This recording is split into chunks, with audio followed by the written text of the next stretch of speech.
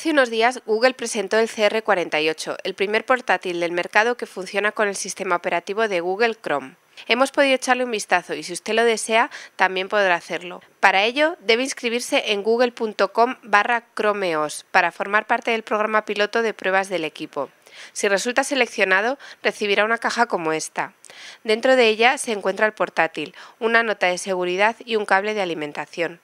El dispositivo en sí mismo recuerda a un viejo Apple MacBook negro, pero no verá en él ni una sola marca, etiqueta o pegatina identificativa.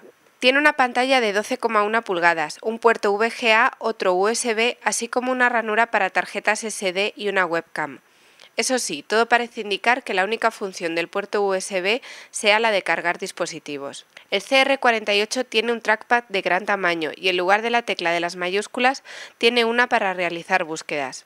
La fila superior del teclado cuenta con botones para la navegación web como las teclas de hacia adelante y hacia atrás, volver a cargar la pantalla y un conmutador de pantalla completa. La puesta en marcha del equipo es rápida y en tan solo unos segundos se nos presenta una pantalla para acceder a nuestras cuentas de Google. Si quiere imaginar el sistema operativo Chrome, cierre todos sus programas y ponga pantalla completa el navegador web Chrome.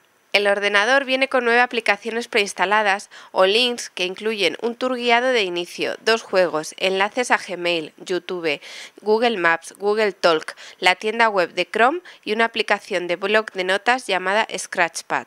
También cuenta con un sistema de archivos, pero al que solo puede accederse bajo condiciones especiales, como cuando el sistema operativo Chrome decide que el usuario necesita ir. Por ahora, Google no ha revelado el tamaño del disco duro de estado sólido del dispositivo, y navegar en archivos como Windows Explorer es imposible en él.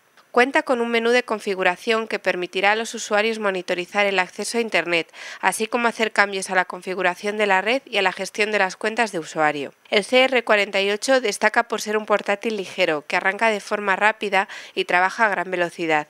Pero la desventaja más obvia de estos portátiles es que es necesario estar conectado permanentemente a Internet para que funcionen.